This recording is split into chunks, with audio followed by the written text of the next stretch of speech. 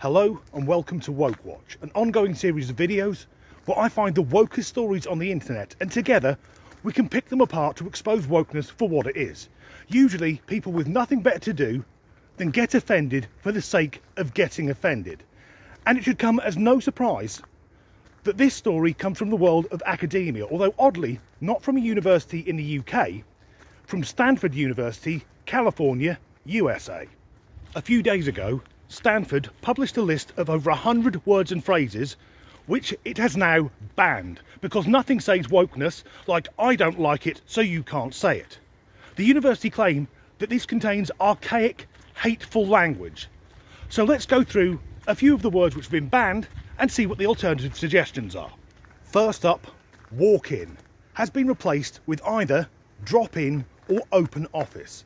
The reason that walk in apparently is offensive is it's ableist and will offend people in wheelchairs. Now, I will put money on it, not a single wheelchair user has ever fucking complained about the term walk-in. They tend to be more concerned with things like ramps so they can have access to buildings. And also here in the UK, we have a number of doctors' surgeries and hospitals which are known as walk-in centres. But if you think about it logically, the time you're least likely to be able to walk somewhere is when you need to go to the fucking hospital. Next up, guru is to be replaced with subject matter expert. The reason being that guru in Hinduism and Buddhism is a term of respect and Western people using the term guru takes away the value of the word. But once again, I bet not a single Hindu or Buddhist has put a complaint in. Next for the chop is the word brave, but there is no given alternative. You just can't say brave. And the reason given is that apparently brave is a term referring to indigenous peoples as courageous, noble savages, such as Native American braves. I see a problem with this though, because the word brave derives from the Latin barbarus that was used long before Christopher Columbus rocked up in the New World. Brave means courageous or bold, and if we get rid of the word, well, Iron Maiden's album Brave New World is now Nothing New World, and Mel Gibson's Mel Gibson's award-winning film is now called Nothing Heart. And more to the point, if we take the American national anthem and take out the word brave, the last two lines read, over the land of the free and the home of the.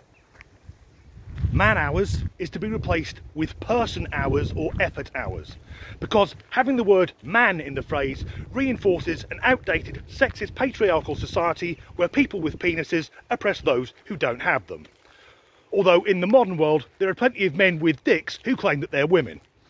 Prostitute is to be replaced with a person who engages in sex work because that person should not be defined by his or her profession. However, I would argue that sex work, there's more than one job there. There's a world of difference between someone with an OnlyFans account, uh, maybe a fetish model, a stripper, a pole dancer, and a prostitute. Because if I were to introduce a girlfriend to my parents, see how different this is. Mother, father, this is Jenny. Occasionally she wears PVC fetish gear and gets paid to be photographed. Or mother, father, this is Jenny a crystal meth addicted toothless hooker. The phrase kill two birds with one stone is being replaced with accomplish two things at the same time. Because apparently killing two birds with one stone normalises the mistreatment of animals. Has anyone ever thought that? You can hear the birds there now. If someone said to me, kill two birds with one stone, I wouldn't pick up a flint and loz it at them. Besides which, this is coming from Stanford University in America. They wouldn't kill two birds with a stone, they get a gun and blow the fucking heads off. The term trigger warning is being replaced with content note because trigger warning can actually trigger people. It induces anxiety as they don't know what's coming up. Now that's been proved to be true. However, correct me if I'm wrong, but I'm not. As soon as people realise that content note means the same as trigger warning, it'll have exactly the fucking same effect. And finally, from a university in California, USA, the term American is to be replaced with US citizen because there are 42 countries that make up the Americas. And for people from the USA to call themselves American implies they are more important than all the other countries in the area.